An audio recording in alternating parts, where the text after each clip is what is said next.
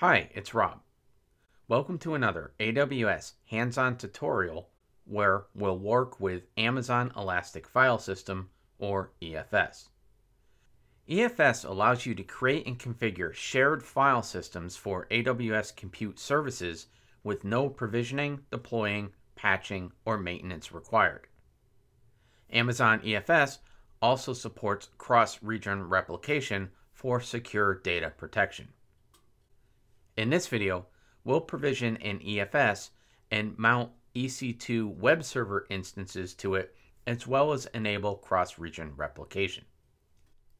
To get started, in the Elastic File System console, I'll click Create File System. I'll give the file system a name, stick with the default VPC, and click Customize. Under Custom Encryption Settings, I'll leave the KMS key field blank and take the default KMS key. Under Performance Settings, I'll stick with General Purpose, and under Tags, I'll add a tag for app and a value of web app. Click Next. And under Mount Targets, I'll just use availability zones US East 1A and 1B.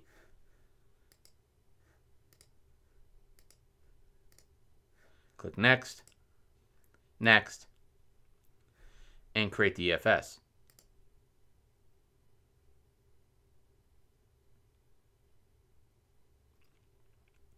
Now we see we have successfully created the EFS and the file system state is available. If I go into it, and go to network, I'll see my mount targets for US East 1A and 1B. Now, what I need to do is jump into the EC2 console, provision an instance, and mount it to this EFS using the mount targets. So, let's jump over to EC2, launch an instance. I'll give it a name of web server 1. I'll use an Amazon Linux 2023 AMI. Stick with a T2 Micro. Create a key pair.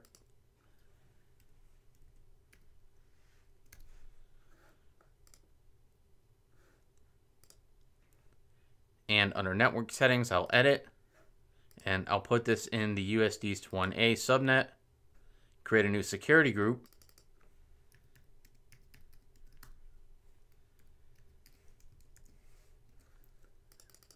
Use the name as a description. And under the inbound security group rules, I'll add a new security group rule for HTTP from anywhere. Now I'll scroll to the bottom, advanced details, and in the user data section, I'll add a script to install the Apache HTTP server. Now I'll go ahead and launch the instance.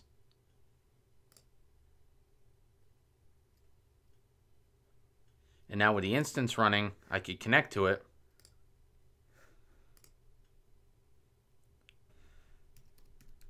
Elevate my privileges.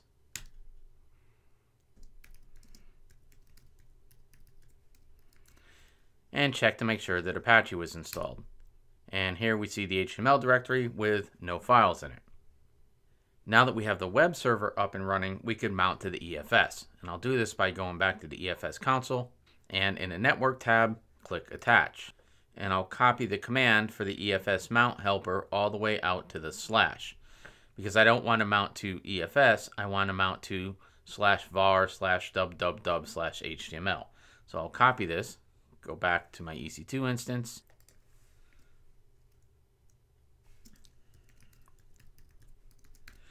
Now, this is the command that I want to execute. However, if I were to do this now, the command would fail for two reasons. First, I need to install the Amazon EFS utils package, and then I need to modify the security group for the EFS to allow NFS access from the web server. So, we'll delete this command. and execute the yum install command to install the Amazon EFS utils.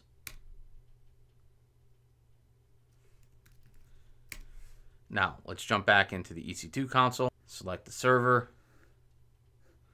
security, open the security group, go to security groups, and here are two security groups. So this is the web server security group we created for the EC2 instance, and the default security group is a security group that was assigned to EFS. So I'll edit the inbound rules, add a rule, NFS from the web server security group and save. Now I could go back to the EC2 instance and mount the EFS. Okay, with the EFS mounted, I'll create an index.html file and put it in the mounted EFS. I'll add a simple h1 element with hello world version 1 and save the file. Jump back in the EC2 console, grab the server's IP, and hit it in a browser. And here we see our web page. So now what I want to do is create another EC2 instance, mount the EFS to it, and make sure that we could load the same web page using that server's IP. So let's jump back into the EC2 console launch another instance.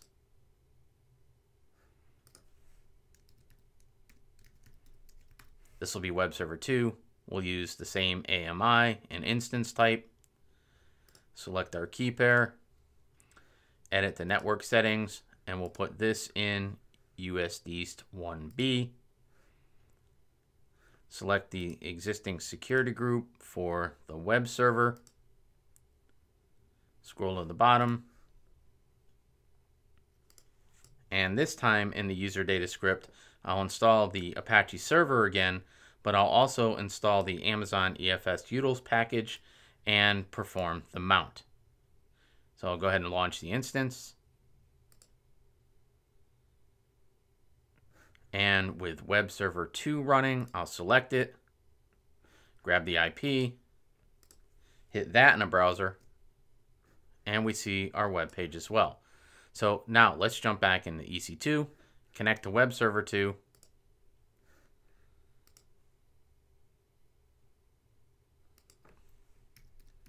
Elevate privileges and edit the HTML file. Change version 1 to version 2. Save the file. Go back to our web pages. Refresh on web server 1. We see the update and web server 2. And we see the update. Okay, so right now we have an EFS in US East 1 with two mount targets, one in US East 1A and one in US East 1B. And we have two EC2 instances, web server 1 in US East 1A and web server 2 in US East 1B, which are both mounted to the EFS. So what I want to do now is go back to the EFS console, click on replication, and we see we currently have no replication of this EFS. So I'll click create replication and I'll replicate to a new file system and the destination region will be US East 2. So before I go ahead and click the create replication, I'll jump over to the EFS in US East 2, click file systems, and we see we currently have no file system. So now I'll go ahead and create the replication. And we see the replication is being created and the replication status is enabling. If I scroll down, we see we have two file system IDs. The first is the source file system, which is the ID for the EFS in US East 1. That has writable permissions. The second is the destination file system in US East 2, which is the replica, which has read-only privileges. So now the replication state is enabled. So let's jump over to US East 2, refresh, and we see our file system. So I'll go ahead and click it, go to replication. We see the file system is read-only and replication state is enabled. Now, back in the EFS in US East 1, if I go to network, we see I have two mount targets in the availability zones with our web servers, which allow me to mount to the EFS instance from the EC2 instances. Now, if I want to do the same thing in US East 2 and create an EC2 instance and mount to this EFS so I could read from it, first I need to go to the Network tab and create a mount target. I'll stick with the default VPC, add a mount target in US East 2A. Select the subnet and the default security group. And I'll go ahead and save the mount target. Now with the mount target creating, I'll jump into the EC2 console and launch an instance.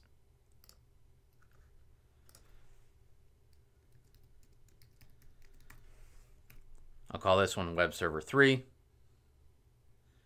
I'll use the same AMI and instance type that I used in US East 1. Create a key pair.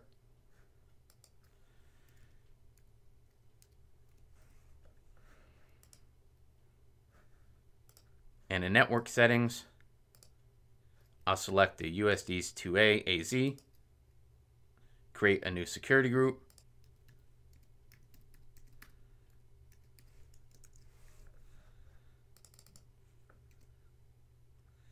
and add a security group rule.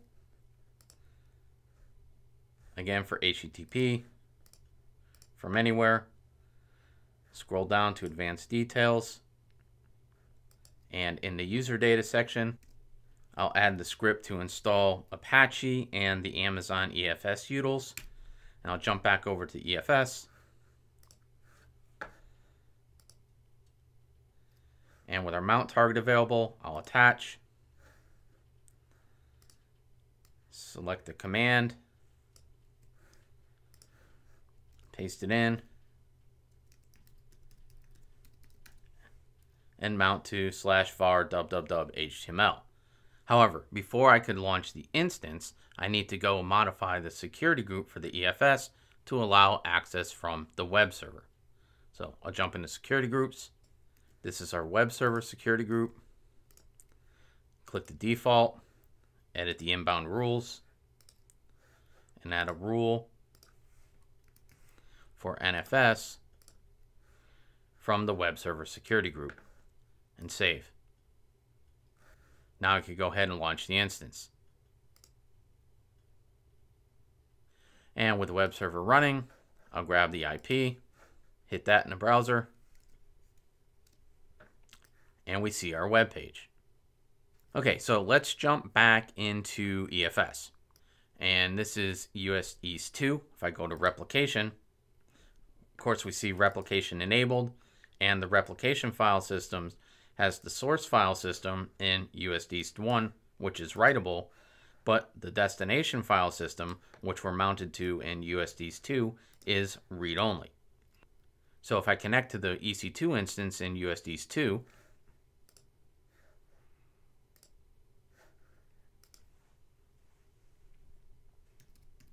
elevate my privileges, and try to edit the index.html file in EFS, we see I get an error message that the file is unwritable. So let's get out of here, go back to EFS, and in order to make the destination file system in US East 2 writable, I need to delete the replication.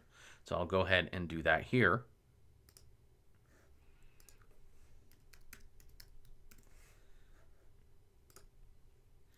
And if we refresh, we'll see that the replication state is deleting. And if we jump over to US East 1 and go into replication, refresh,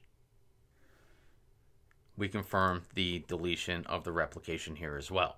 So for now, I'm going to jump back over to US East 2. And this deletion is going to take a while. So I'm going to go make a pot of coffee. I'm going to drink it. And when I'm done, I'm going to put another pot of coffee on and then come back. Okay, with the EFS cross-region replication showing as deleted in US East 2, and if we jump over to US East 1 and refresh, we see there's no replication indicated here as well. I'm going to go back to US East 2, and in the console for the web server, I'm going to edit the index.html file. And this time, since there's no replication, the file is writable. So I'm going to change version 2 to version 3, save the file, go back to the browser, and on the IP address for web server 3 in US East 2, I'll refresh, and now we see our version 3. But if we go back to the IP for server 1 in US East 1, we still see version 2, as well as the web server 2 in US East 1, we see version 2. So I'm going to jump back into the EFS console in US East 2 and create a replication. This time I'm going to replicate to an existing file system in US East 1. I'll select our file system and choose it. And now before I could create the replica, I need to disable the overwrite protection on the EFS in US East 1. So I'll click disable. And under file system protected, I'll change it to disabled, save the changes, and then create the replica.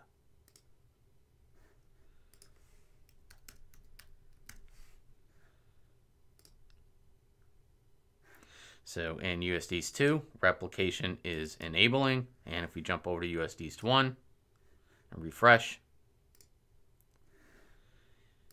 we see replication is enabling as well.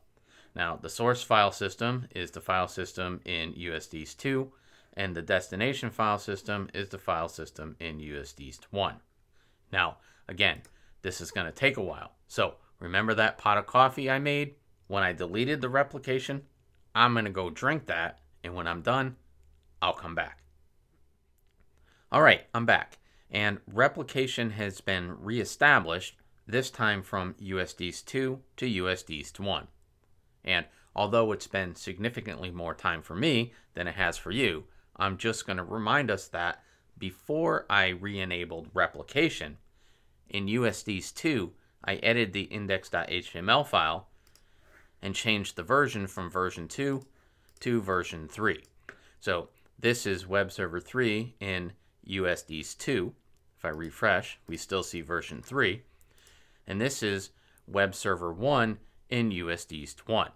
If I refresh, we see version 3 as well as on web server 2 in US East 1. Now for the last test, I'm going to jump back into the EC2 instance on US East 2, edit the HTML file again, change version 3 to version 4 and save the file. Go back to the web page in US East 2 and refresh we see version 4. But in US East 1, if we refresh, we still see version 3. That's because if we jump back over to EFS, although I haven't really been paying attention to the time, it's because that the last sync time was before I just made the edit to the file. So we're going to have to wait for this to sync again before we see the updates in US East 1. And if we jump over to US East 1 and refresh, we see the last sync time has changed.